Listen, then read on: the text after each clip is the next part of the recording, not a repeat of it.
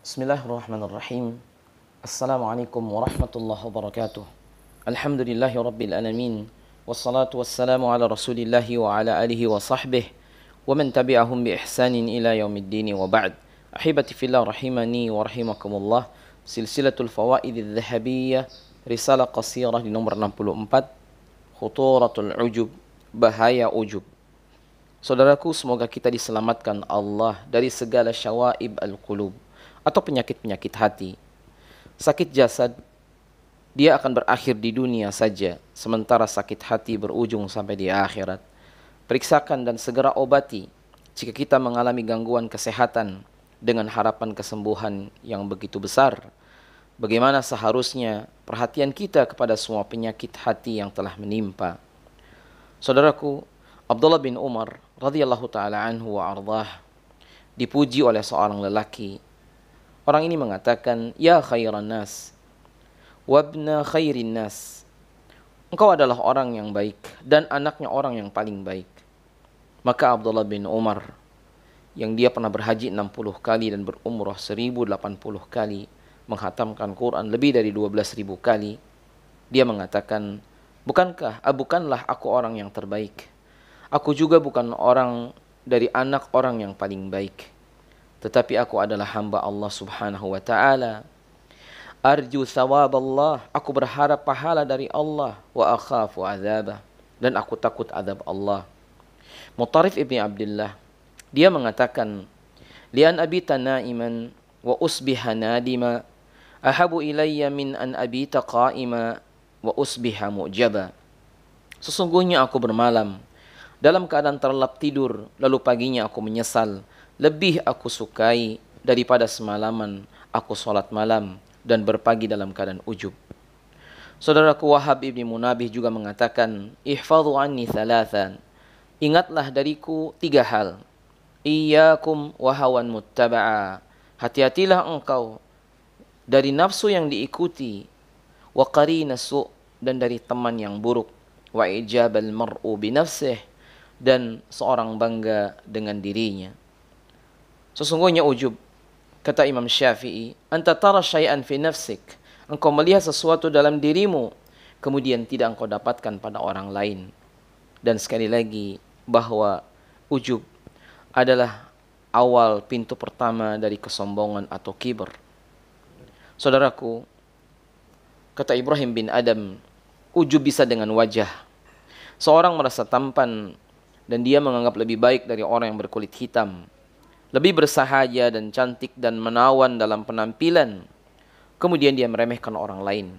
Ujub juga bisa dengan harta yang sementara Allah titipkan.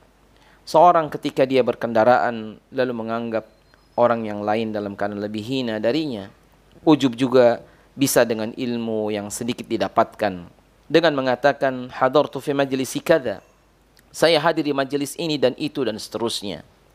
Kata Ubaid ibn Abi Ja'far, beliau mengatakan, "Idza kana al-mar'u yuhdithu fi majlisihi fa'ajabahu falyumsik, fa'ajabahu al-hadith falyumsik."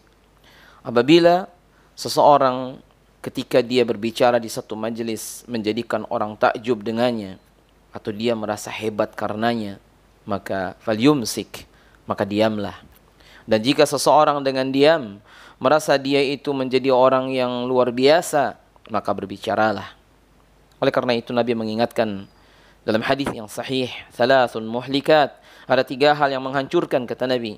Syuhun muta'un wa hawan muttaba'un wa ijabul mar'i binafsih. Tiga hal yang membawa pada jurang kebinasaan. Seorang yang syuhun muta' seorang yang tamak dan kikir. Kemudian hawan hawan muttaba'un ikuti hawa nafsu. Hawa nafsu yang buruk tentunya. Dan yang ketiga adalah wa ijabul mar'i bi nafsih. Seorang yang dia takjub atau bangga dengan dirinya. Saudaraku sesungguhnya nabi pernah mengingatkan kepada kita sekalian. Kata nabi la tuzakku anfusakum. Allahu a'lamu bi ahlil bir. Ya minkum. Sesungguhnya janganlah kalian menganggap suci diri kalian Sesungguhnya Allah Ta'ala a'lamu bi ahlil birri minkum. Allah mengerti dan tahu siapa yang orang yang baik di antara kalian. Dalam Al-Quran bahkan dikatakan di surat An-Najm. Fala tuzakku anfusakum huwa a'lamu biman ittaqa. Janganlah kalian menganggap suci diri kalian. Allah mengerti dan faham siapa yang bertakwa di antara kalian. Abu Hurairah pernah mengatakan, kata beliau, yubsiru ahadukumul qadah fi a'yuni akhih yansal jadal fi a'yuni nafsih atau fi aini nafsih. Dia mengatakan, salah seorang di antara kalian dapat melihat kotoran kecil di mata saudaranya, tetapi dia lupa dengan sebuah kayu besar yang ada di matanya. Saudaraku, Abu Bakar Siddiq radhiyallahu taala beliau pernah mengatakan dalam doanya katanya Allahumma anta alamu minni bi nafsi ya Allah sesungguhnya engkau mengetahui keadaan diriku ya daripada diriku sendiri wa ana alamu bi nafsi artinya Allah taala mengetahui lebih tahu daripada dirinya Kemudian Allahumma ij'alni khairan mimma yadhunnun waghfir li ya'lamuna wa la tu'akhidhni bima yaqulun. Disebutkan oleh beliau dalam doa tersebut. Katanya ya Allah, sesungguhnya engkau lebih mengetahui keadaan diriku daripada diriku sendiri. Dan juga aku lebih mengetahui keadaan diriku daripada mereka yang memujiku. Ya Allah, jadikanlah aku lebih baik dari yang mereka sangkakan. Allahumma ja'alni khairan mimma yadhunnun. Ya Allah jadikan aku lebih baik dari apa yang mereka sangkakan. Waghfirli ma la ya'lamun. Kemudian ampunilah aku dari apa yang mereka tidak tahu. Wala tu'akhidni bima yaqulun. Dan juga ya Allah, janganlah engkau menyiksaku dengan perkataan yang mereka ucapkan. Ini juga di antara doa yang disebutkan oleh Syekh Nasir Al-Albani. Mudah-mudahan ya, kita semua dihindarkan dari segala penyakit ujub dan saudaraku yang dirahmati Allah ujub adalah penyakit yang berbahaya lebih daripada virus corona merasa lebih baik dan mulia tapi hakikatnya sirna dan sia-sia jangan jadikan amal rusak binasa karena ujub dan juga ria. Dua bersaudara yang menimpa banyak manusia.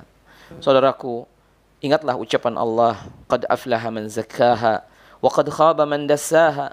Sungguh beruntung jiwa yang Allah sucikan dan sungguh merugi jiwa yang Allah hinakan. Semoga kita selalu dijaga dengan keikhlasan, dijauhkan dari ujub ataupun senang pujian dari semua uh, dari semua orang dan kita dihindarkan dari segala penyakit yang membinasakan. Nasallallahu taufik wasadad lana wa lakum. Sallallahu ala nabiyyina Muhammad. Wassalamualaikum warahmatullahi wabarakatuh.